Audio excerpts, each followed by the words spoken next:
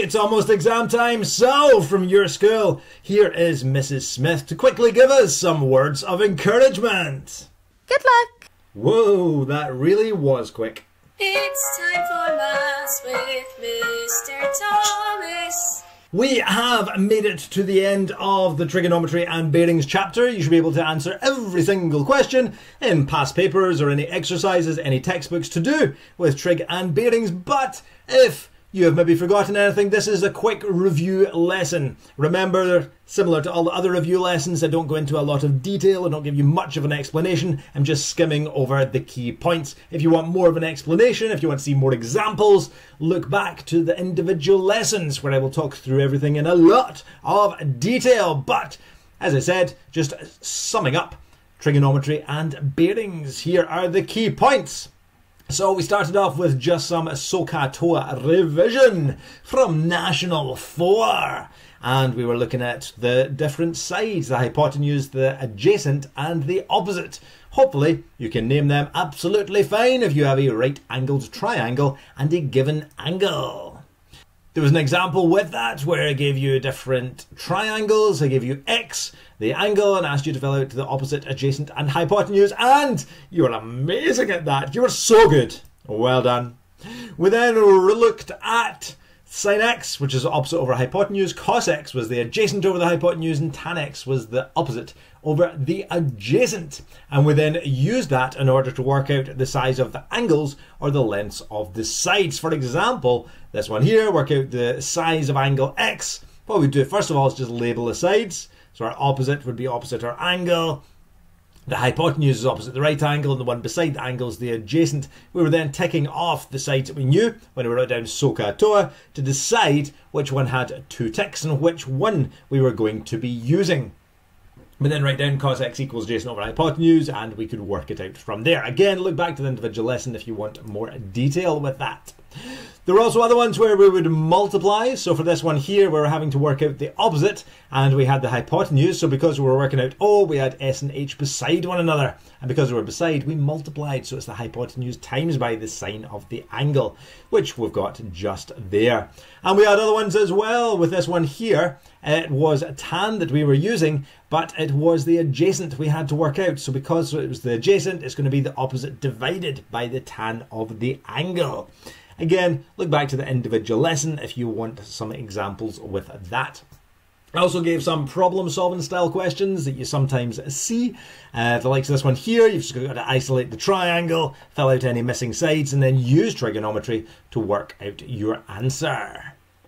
We then went on to look at the area of a triangle, a non-right angled triangle such as this.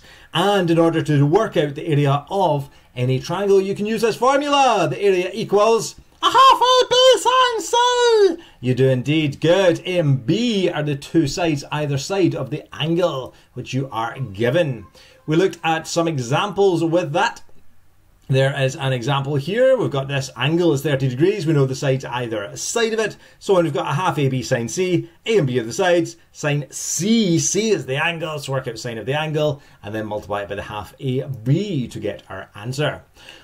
You can see here this is example 9. I'm not going over all the examples. This is just a quick recap of everything that you need to know. But this type of question is very common in the exam, where they'll give you a shape that is made up of triangles, such, such, such as this hexagon here. You can see that it's just six of these triangles. So for this here, we just had to work out the area of one triangle and multiply it by six. Again, a very common exam style question.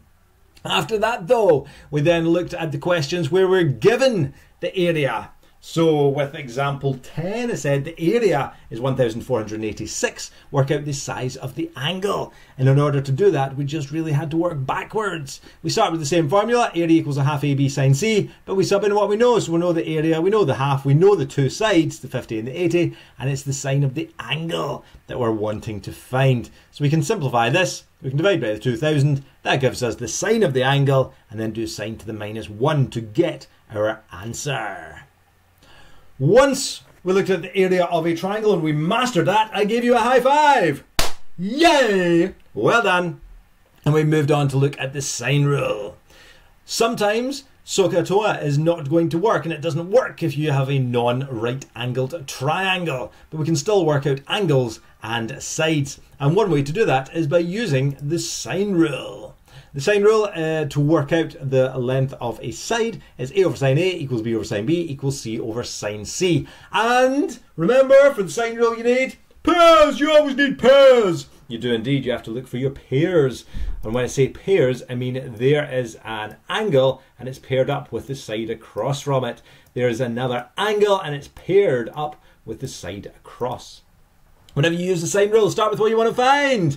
Here, because you want to work out x, hello, you start with that. So it'll be x over the sine 34 will equal, and then look for your other pair side in the top if you are working out a side. So 9 over sine 78. And you can rearrange all that to get your answer. We then flipped the sine rule upside down to work out the size of an angle. Remember, this is given in the formula sheet in the exam. This here, woo, this one. Uh, but this one is not. Uh, all you've got to remember is if you're working out an angle, you flip the sine rule upside down. So you get sine A over A equals sine B over B equals sine C over C. So the likes of this example here, we're wanting to work out the size of that angle. And because it's an angle we are wanting to find, we put the angles on top. So a sine of this angle, so sine x over the 75 would equal the sine of this angle over this side. And then from there, you can rearrange that to work out what sine x is going to be, and then do sine to the minus 1 to work out the size of your angle. Remember, this is just a quick recap. If you want more of an explanation and see more examples, look back to the lessons. We've also had some ambiguous cases. Ooh, ambiguous. What does that mean? Well, it's when there's more than one answer. And there's more than one answer sometimes when we use the sine rule. You can see here for these two triangles, this angle is 31 and this angle is 149. But they give us the exact same thing. If you do the 9 divided by sine of 31 and the 9 divided by sine 149, it's the same thing. So the trick is, if you're reading the question, it says work out the size of the obtuse angle, what you do is you'd work out the acute angle first of all, and then just take it away from 180 degrees. It's a problem that only pops up for the sine rule when you're having to work out the size of an angle. So work out the size of the acute angle and then take it away from 180. So instead of an answer being 31, it'd be 149. If you look at this example here, it says calculate the size of the obtuse angle ABC. So once again, you just worked out the size of the acute angle. So you get the size of the acute angle, but because you know it's obtuse, take it away from 180. So it'll be 180, take away that, uh, giving you the obtuse angle. Watch out for that, but as I said, it'll say in the question. Here it says calculate the size of the obtuse angle. After we mastered the sine rule, I gave you another high five. Yeah! And we looked at the cosine rule. The sine rule uh, works when you have pairs, but sometimes you do not have pairs. For example, here we do not have enough pairs, so the sine rule does not work. Instead, though, we can use the cosine rule. And the cosine rule to work out the length of a side is this. It's a squared equals b squared plus c squared minus 2bc cos a. And again, in our formula, the lowercase letters represent sides and the capital letters represent the angles. Yeah. So, an example here, work out the length of side x. Because this is the side we want to find, this here will be our a in the formula. Meaning, if that's a, the other sides will be B and C, and it doesn't matter which one's which. You could swap the B and the C around, it makes no difference whatsoever. I can't swap that around. Oh no! There we go. So the B and the C doesn't matter which one's which, but that's what we want to find, which means then cos of the angle, cos of this A, that there is going to be angle A. Watching the exam, they will give you different letters to try and confuse you. Ignore the letters they're giving you and just apply the formula to the question. But that is how it's done anyway. With this one here is a non-calculator question. Sometimes what they'll give you in the exam in the non-calculator paper is the likes of this question here, but it'll give you the cos, or if it was a sine rule question, the sine of an angle. So here it tells us that cos C, is so it gives us the cos of that angle and tells us that it's one fifth. Lots of people freak out because they're like, how do I work out cos of one fifth? But it's not to do with that. It tells you the cos of this angle is a fifth, which means when you apply it to the formula, Again, the letters they give you will be there to try and confuse you, uh, but you're wanting to work out the length AB. So this is what you want to find. So that's really X or AB, call it whatever you want. But that's what you want to find. So if you're using this formula, you're imagining that there is A then, meaning that this angle is the A in the formula. So the cos of the A is really your cos C, and cos C is a fifth. So we're replacing cos C with a fifth, not cos one fifth and to check that you can do that without a calculator. We then looked at the cosine rule to work out the size of an angle. And to work out the size of an angle, it's just the other formula rearranged, but it's also given on the formula sheet. So to work out the size of an angle with cosine rule, it's cos A equals b squared plus c squared minus a squared over 2bc. Woo! So that was how you would use it. There's an example there. You work out cos of your angle. Once you've got the cos of your angle, to get just your angle on its own, do cos to the minus 1 of that previous answer. And you'll get the size of the angle. Woo, it's that easy. It is, but this video is just in case people forget how it's done. It's a quick recap. Then we went on to look at lesson 10, which was the sine rule and the cosine rule mixed together. There are four different formulas. Remember, you are given three of these in the exam. This one you're not given, but it's dead easy to remember because it's just the sine rule flipped upside down. So if you want to work out the size of an angle, you put the angle on top. If you want to work out the length of a side, you put the side, side on top. And there's cosine rule for an angle and a side. So you've got them as well. Which one do you use though? Well, look at the question. Look at your triangle. And the way I remember it is I always think about the cosine rule first. Use the cosine rule if you use it if you know all three sides, or if you know two sides and the angle between them. Fiona, you're right. Yes. So use cosine rule if you know all three sides, or if you know two sides and the angle between them. And the sine rule, Mark. Oh, for the sine rule, you look for pairs. You do indeed. Yeah, remember a pair is the angle and the side across from it.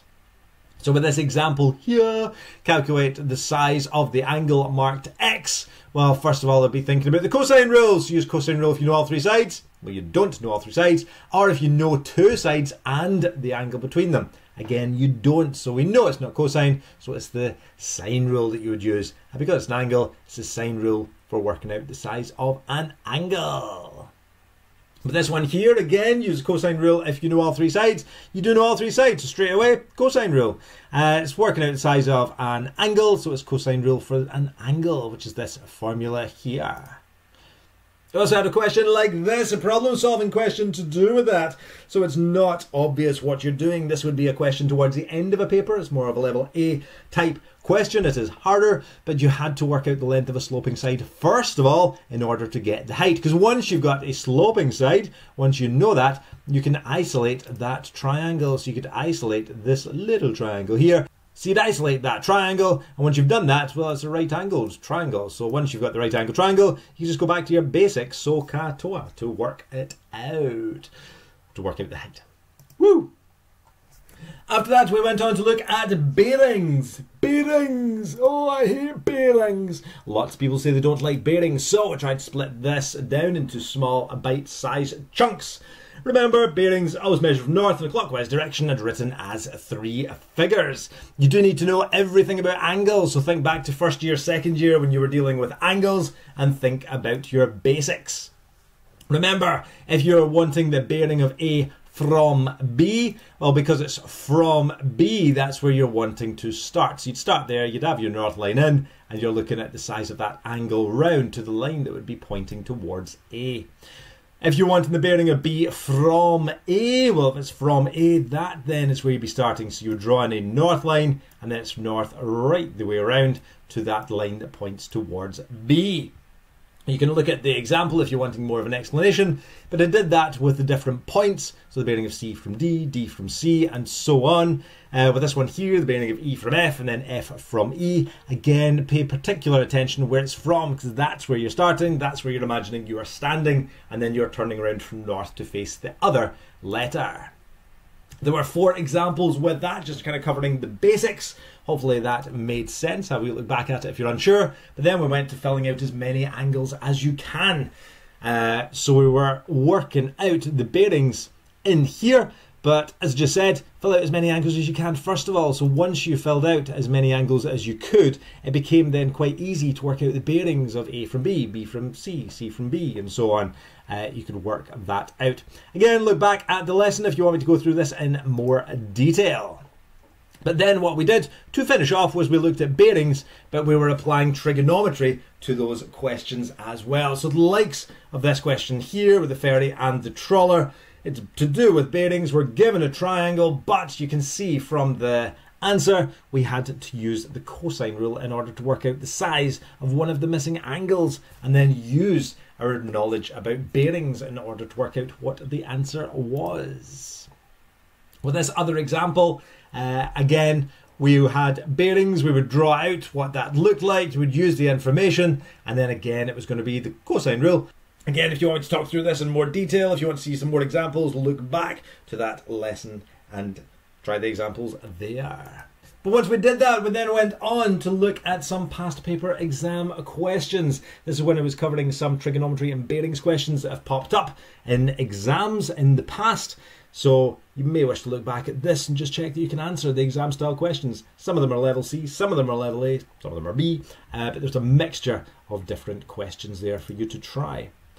As I said though, that has been a very quick review of the trigonometry and bearings chapter. Hopefully you are remembering everything, but if there's anything you have forgotten, and if you want more of an explanation, look back to these lessons. Go into the lesson and I'll hit you with a lot more detail and a lot more examples to bring you up to the level you need to be at. But best of luck if you want to practice any of these questions. There's some in the Zeta Maths book, there's some in the TeeJay Maths book. Zeta book's pretty good. Uh, page 233 is the review exercise there. Might want to give that a shot. Best of luck anyway, and remember, past papers. Try past papers. Check if you can do them. There's been more since this video has been made as well, and I haven't put in every single past paper question, so there are others for you to try. Best of luck for the exam when it comes. Let me know how you get on. Bye.